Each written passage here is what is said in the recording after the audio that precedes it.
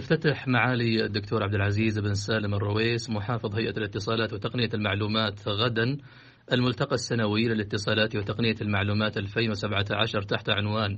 التجارة الإلكترونية في المملكة العربية السعودية بمشاركة وزارة التجارة والاستثمار مؤسسة النقد العربي السعودي مؤسسة البريد السعودي الهيئة العامة للمنشآت الصغيرة والمتوسطة خبراء التجارة الإلكترونية المستثمرين في هذا المجال مقدمي الخدمات اللوجستية المدفوعات وعدد من المهتمين بمجال خدمات الاتصالات والمعلومات. وسيناقش الملتقى عددا من الموضوعات من أبرزها تمكين التجارة الإلكترونية في السعودية والمنظومة المحلية للتجارة الإلكترونية من خلال استعراض أبرز التجارب الحكومية والخاصة. يذكر أن هيئة الاتصالات وتقنية المعلومات تهدف من إقامة ملتقى التجارة الإلكترونية إلى تقديم نظرة شاملة على الوضع المحلي والإقليمي والعالمي للتجارة الإلكترونية واستعراض الأثر الاقتصادي والاجتماعي لها.